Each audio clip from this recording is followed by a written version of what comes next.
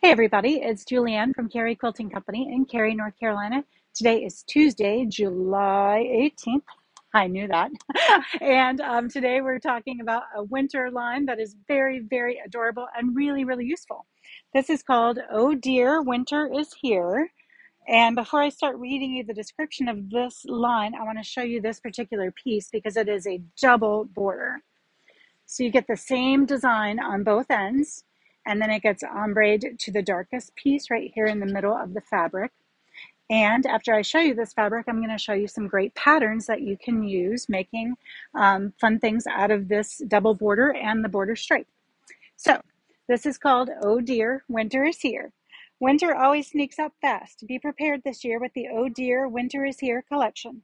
With a muted color palette, these adorable snowmen and deer fill this wintry collection. Don't miss the stunning snow scene in the double border print, which I've already shown you. And this is by Michael Miller Fabrics. I do like this piece a lot. and then we've got snowmen and deer mixed together. Super cute. And then we have some fun checks and plaids. I'm actually going to slide this first set over so we can make some room. And there's a nice piece. That'd be a nice um, throw pillow. A starting off, starting spot for throw pillows. And then we've got those plaids because plaids are now way back in style, despite what Georgia behind the camera is thinking. Good thing you weren't focused on her. Everything, you know, we have a little bit for everybody, and sometimes everything's not for everybody. Now, what I wanted to share with you are a couple of patterns. So this is a table runner pattern that is designed for stripes and border prints. So in this case, let me grab up that border print again.